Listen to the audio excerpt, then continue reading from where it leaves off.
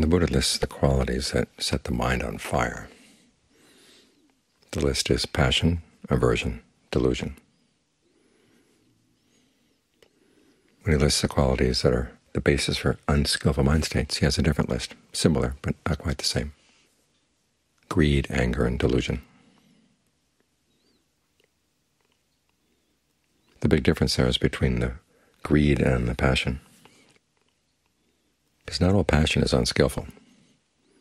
After all, you can have a passion for the path. In fact, you have to have a passion for the path in order to practice.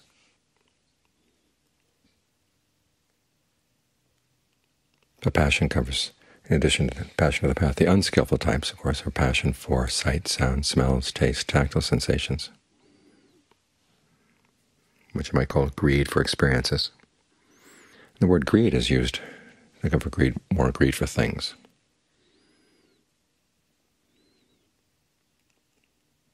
Now, the Buddha didn't say that wanting to have things in and itself is bad. When he talks about unskillful greed, it's there's a particular term. It's visama lobha. Visama means out of balance, out of line with the way things should be.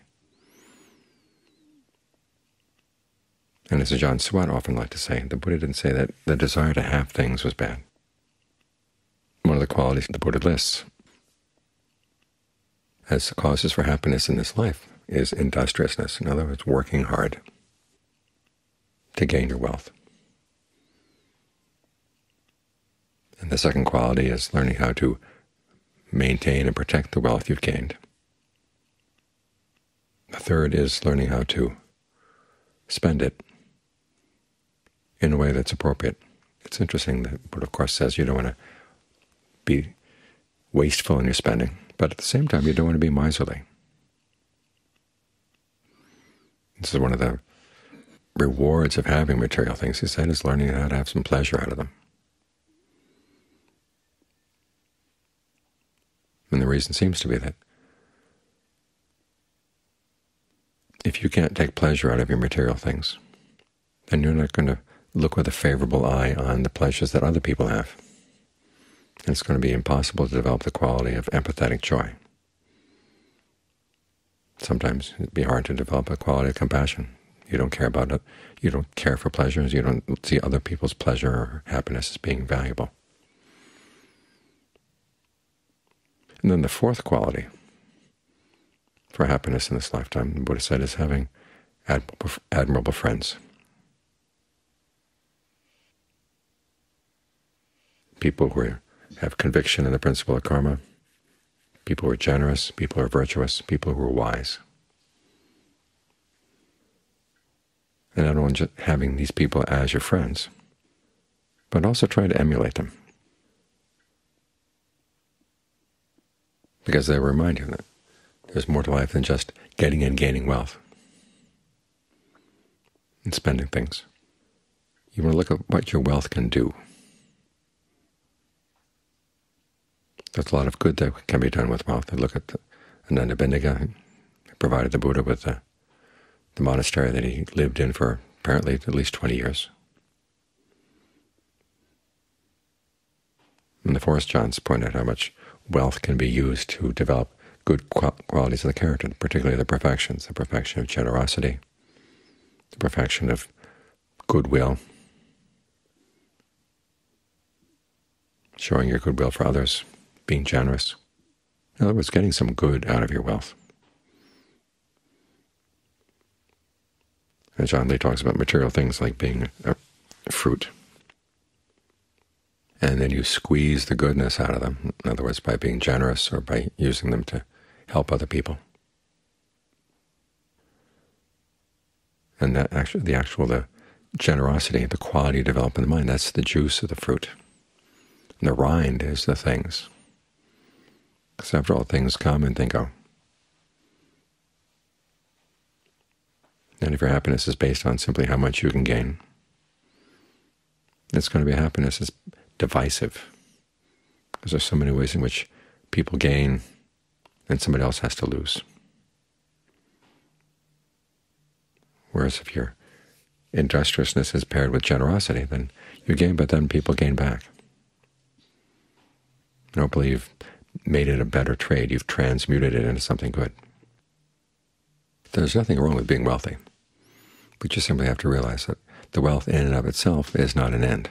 It's a means.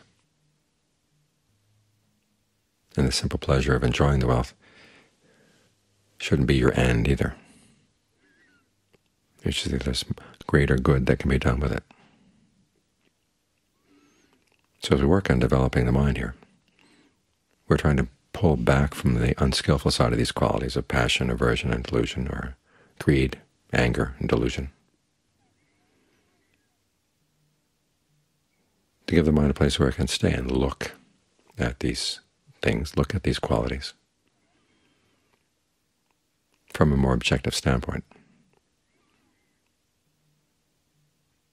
Because so much of our greed, so much of our passion is basically a hunger.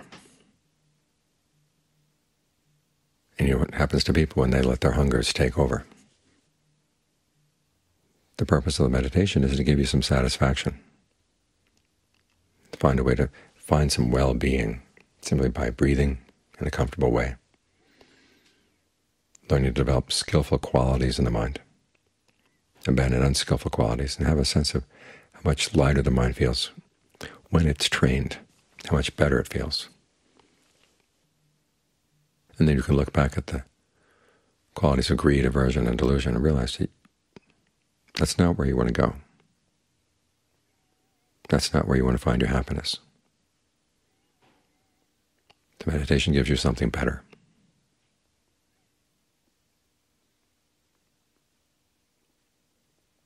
So it's in this way that the meditation is a gift to other people.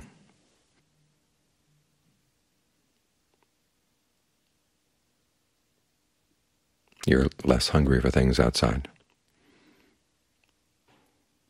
It means that you're going to be less in conflict.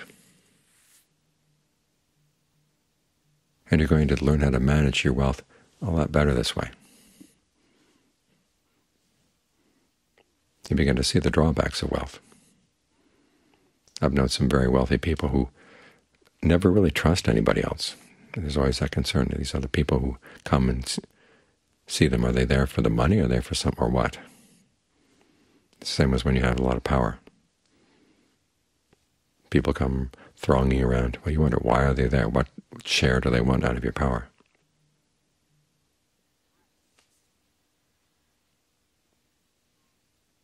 And of course, the fact that people can be jealous. Whereas if you're treasures, and this is where the Buddha takes the analogy of wealth and brings it inside. He says that there are treasures of the mind. If your treasures are inside, they're yours for sure. Nobody can has to be jealous of them, and there's no way you can be afraid that they're going to take them away from you. And that kind of investment is a lot safer. So in this way, you take that quality of industriousness that's used for gaining wealth outside, and you learn how to bring it inside, create wealth inside. Conviction is a form of inner wealth.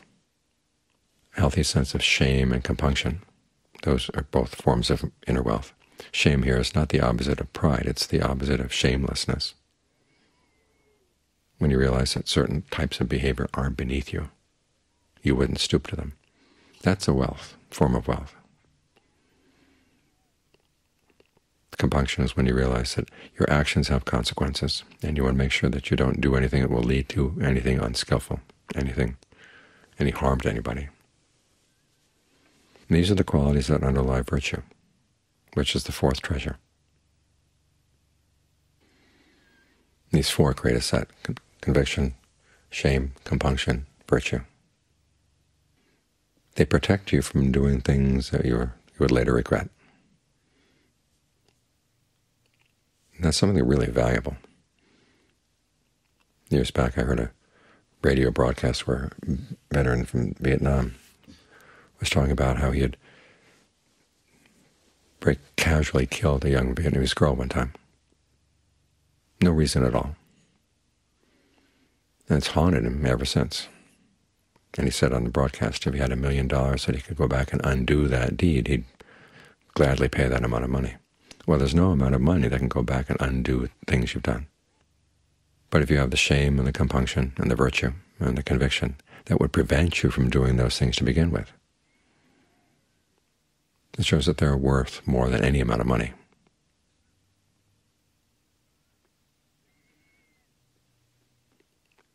The other treasures are learning, in other words, learning about the Dharma,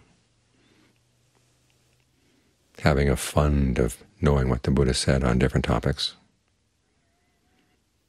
so you can call them to mind when you need them. Generosity, and then discernment. I notice that some of these treasures are qualities of that admirable friend you're looking for. Because that admirable friendship leads beyond just well-being in this lifetime, but into developing the treasures that will take you on, look after you, and those provide for you in future lifetimes as well. These are things that you don't leave behind. They go with you.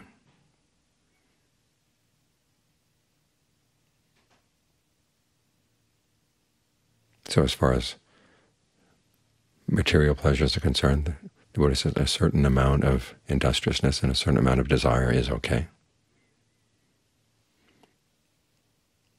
But you have to be very careful about how you go about gaining your wealth and spending it. But with noble treasures, the more the better. The more you can develop in this area, the better it will be for you and for the people around you. And that's not called greed, trying to develop these treasures. It's called heedfulness.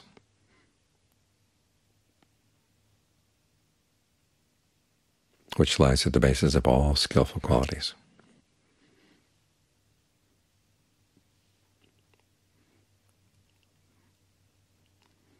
So external wealth is something that is necessary for life. And if you gain it in the proper way, then there's nothing wrong with it.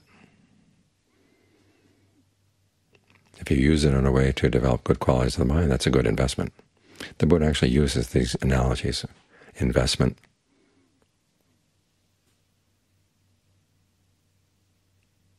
thinking in material terms. Sometimes we're told that spiritual materialism is a bad thing. We shouldn't be trying to gain anything out of the meditation. Well, if we're not thinking of gaining anything out of the meditation, what are we doing here? Everything we do has a purpose. And so you want to make sure that your purposes are for your long-term welfare and happiness. Material wealth can't guarantee that. Inner wealth can.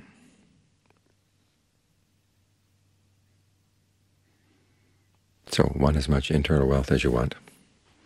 As long as you act wisely on that desire, you're going to be fine.